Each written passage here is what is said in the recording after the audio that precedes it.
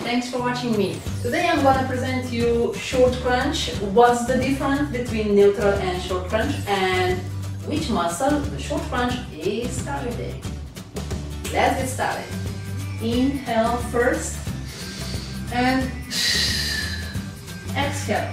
So this is neutral position, neutral crunch. What's the difference between neutral and short crunch? If you want to strengthen this middle abs six pack, uh, just do this neutral crunch. If you want to strengthen upper six pack, what you should do, just put your legs your buttocks.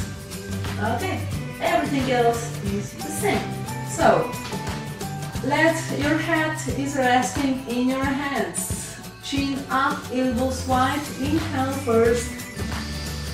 And connect your ribs with hips. Go up and exhale.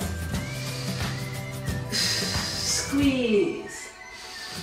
So you feel tendency here in upper system. Okay? So this is it. Let's do 10 reps. Come on. One,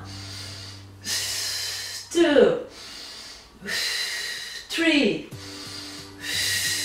four, five, six, seven, squeeze,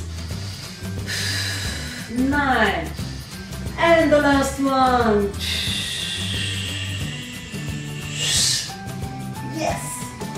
So this is it guys, I hope you enjoyed my presentation and if you want, if you didn't watch, if you didn't watch my uh, first video, just do it right now. This is Neutral Crunch, uh, much more information about this fantastic movement and if you want to strengthen this uh, lower uh, abs, lower six pack, just watch how to perform long crunch.